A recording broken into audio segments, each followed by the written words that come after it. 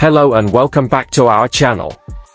Today, we're going to talk about a multi-role fighter aircraft that's been making waves in the aviation world.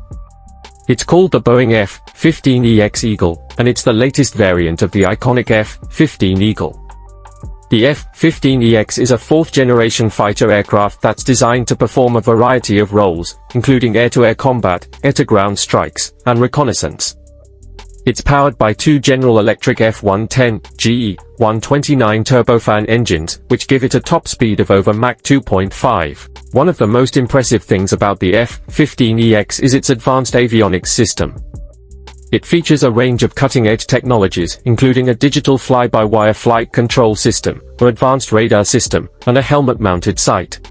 It's also equipped with a range of different weapons, including air-to-air -air missiles, air-to-ground missiles, and bombs. The F-15EX is also designed to be highly maintainable and sustainable. The F-15EX has already been ordered by the US Air Force, and it's expected to enter service in the near future. It's also being marketed to a number of other countries, including Japan, South Korea, and Saudi Arabia.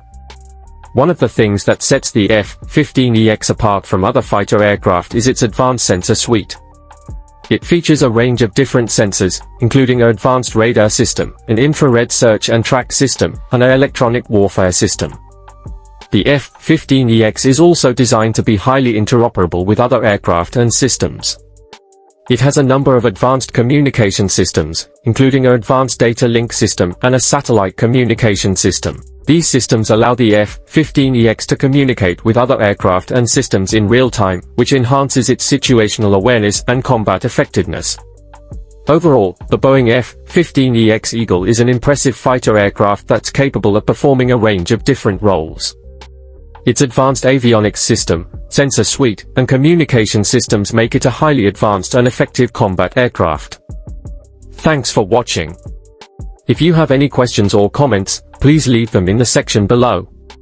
Don't forget to like and subscribe for more videos.